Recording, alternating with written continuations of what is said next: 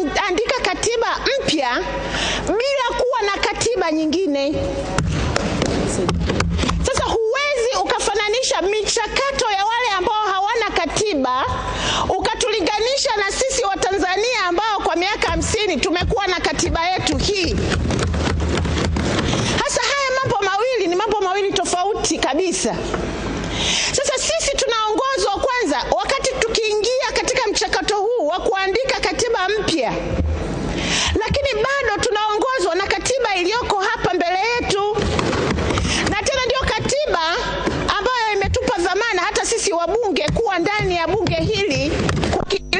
Wananchi, ingawa sisemi kwamba katiba yetu hii tunayoenda kwenye mchakato na tutakapotoa wazo Watanzania wote watakuwa huru kutoa maoni yao, nini wanataka akiwe katika katiba yetu.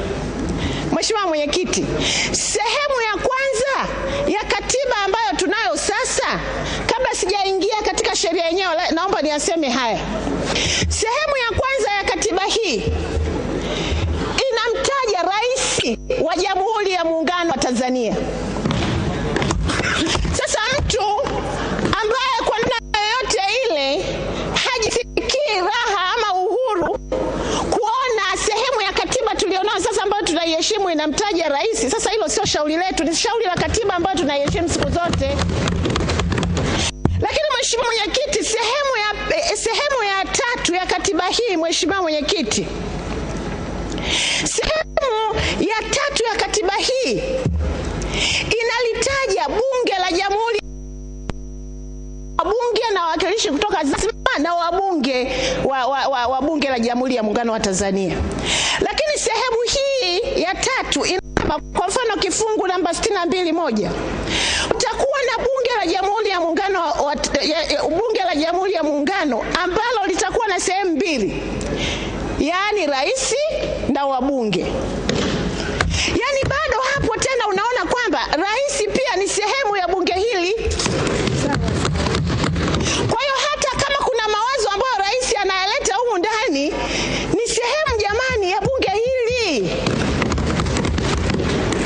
lakini bado inaendelea. Mheshimiwa Mwenyekiti, sehemu ya tatu katika ibara hiyo namba sitini na mbili inasema iwapo jambo lolote lahitaji kuamuliwa na kutekelezwa na sehemu zote mbili za bunge, yaani rais na wabunge, kwa mujibu wa masharti ya katiba hii ama masharti ya sheria nyingine yoyote, basi jambo hilo halitahesabiwa kuwa limeamuliwa au limetekelezwa ipasavyo, ila mpaka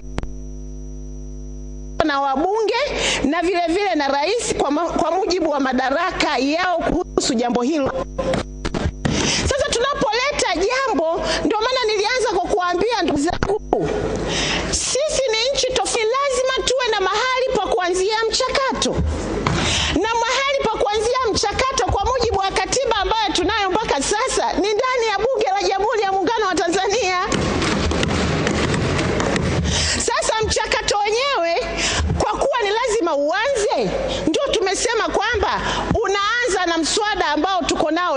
ndani ya bunge hili. Hiyo ndio sehemu ya kwanza sasa ya mchakato. Sasa ninaomba Watanzania muelewe kwamba kuandika katiba mpya ni mchakato na, na uzuri ni kwamba sisi tunaanza kuandika katiba mpya wakati tayari tunayo katiba yetu. Miaka yote hii hamsini ya uhuru tunayo katiba yetu. Kwa maana hiyo ni lazima sasa tuanze mchakato wa kuandika katiba mpya mchakato wa Tanzania wenzangu wa kuandika katiba mpya ndio unaanza sasa kwa kutunga sheria hii, na sheria hii tunayoitunga leo sio ndio katiba mpya. Hii sasa ndio sehemu ya kwanza ya mchakato wa kutunga katiba mpya. Mheshimiwa Mwenyekiti, mimi ni mwalimu na ninaweza sana kufundisha. Nadhani leo nichukue nafasi Mheshimiwa Mwenyekiti, sasa nitakuambia kwenye mchakato wa sheria hii ambao sasa sisi kwa mujibu wa katiba kama wabunge ambao tuna mamlaka ya kutunga sheria, sheria hii tunayoianzishia mchakato huko baadaye tutakuwa hatuna ubavu nao. Baada ya bunge la katiba kuundwa, sisi sasa mchakato wetu utakuwa umekwisha. Sasa nataka kusema nini, mwenyekiti? Ukiangalia maana ya mswada huu pale tunapoanza katika sehemu ile ya mwanzo kabisa ya taarifa na utangulizi, sheria hii tunasema imeandikwa tena vizuri tu. Sheria hii sheria tuna, tunatunga sheria kwa ajili ya kuunda tume Watanzania tunatunga sheria kwa ajili ya kuunda tume ya mabadiliko ya katiba kwa madhumuni ya kuratibu na kukusanya maoni ya wananchi juu ya katiba. Kwamba maana ndefu ya mswada huu inajieleza vizuri na bado inaendelea kuainisha na kuchambua maoni ya wananchi. Sasa jamani, hayo maoni ya wananchi yataanza kuainishwa vipi kama hii sheria ya jinsi ya kuainishwa itakuwa haijapita? Lakini bado inaendelea kuainisha masharti kuhusu kuhalalisha masharti yaliyomo kwenye rasimu ya katiba. Yaani hiyo process, huwa mchakato baadaye utatengeneza mpaka rasimu. Sasa rasimu ile itatengenezwaje tusipomaliza mchakato huu wa leo? Kwa hiyo lazima tumalize mchakato huu wa leo, ndio hata haya mabaraza sasa na rasimu ya katiba itaweza kupatikana. Lakini naendelea, mheshimiwa mwenyekiti, mimi hapa ndo naona hapa pana ugomvi, wa- mengine yote wala sio ugomvi, watu hawaelewi kama kitu hiki kipo.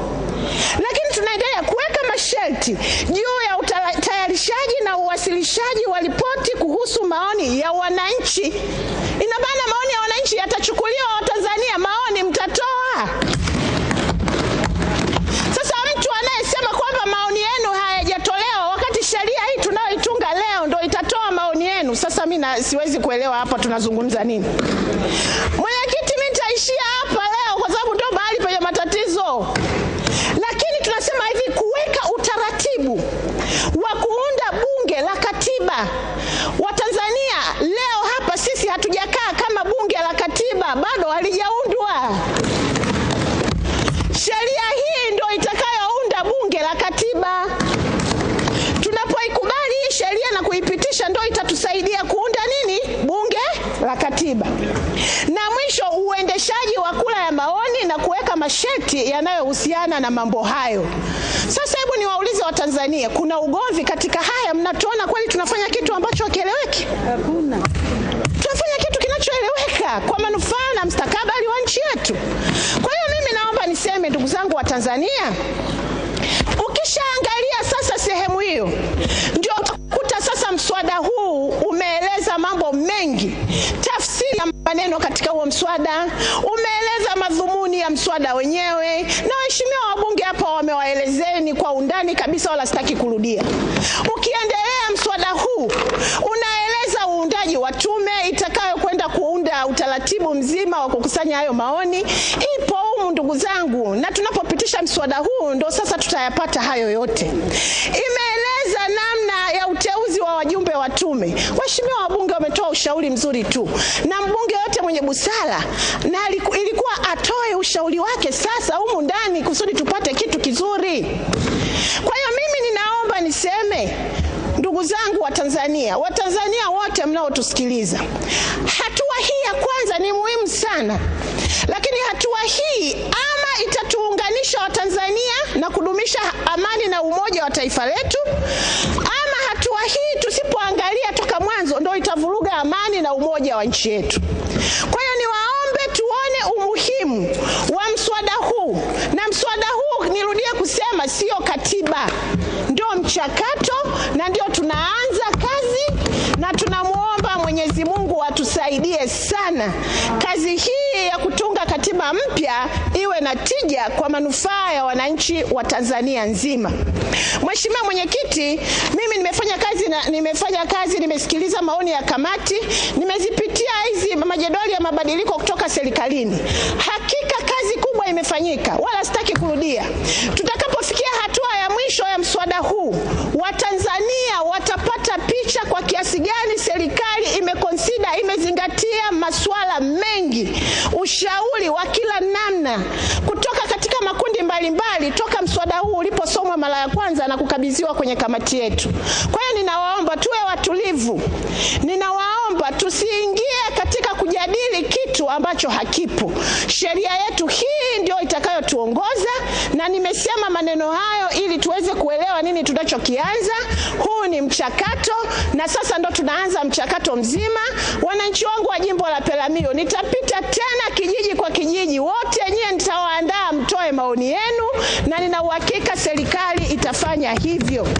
Baada ya kusema haya, Mheshimiwa Mwenyekiti, mimi ninaomba kuitakia kila la heri serikali yangu ifanye zoezi hili kwa umakini mkubwa, na Mwenyezi Mungu kwa kweli atusimamie. Nchi nyingi zimepoteza amani katika mchakato wa kutunga katiba. Sisi hayo Mungu aepushe katika taifa letu na nchi yetu. Ndugu zangu, tunaandika tunapitia sheria ya kuanzisha mchakato na sio katiba. Hatuzungumzi humu katiba, na katiba ni ya wananchi. Wao watapata nafasi wao ya kutoa mapendekezo gani wanataka yazingatiwa kwenye katiba yao. Baada ya kusema hayo, naomba kuunga mkono hoja na kushukuru kwa kunipa nafasi. Nakushukuru sana Mheshimiwa Mhagama kwa mchango wako mzuri. Namwita sasa Mheshimiwa Kigola, pia Mheshimiwa Jafo ajiandae na Mheshimiwa Muhammad Sanya wajiandae. Asante sana mwenyekiti kwa kunipa nafasi hii